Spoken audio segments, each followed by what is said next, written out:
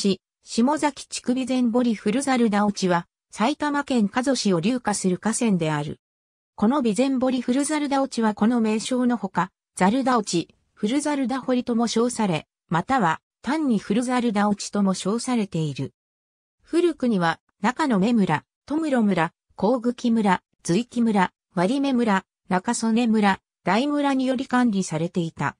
整備された当初は、竜松が現在の久喜市域に所在していた河原の犬前と流入する流路となっていた。このため、今日では、備前堀川として河川管理が行われている区間においても、ザルダ橋や古ザルダ関などの名称が見られる。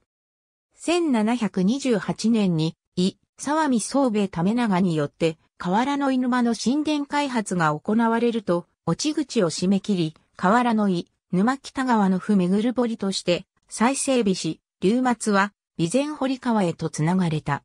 この折に、大村は、水源がなくなったため、組合から脱した。